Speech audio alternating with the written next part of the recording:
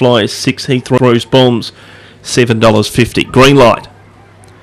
Set to go. Ready for the last.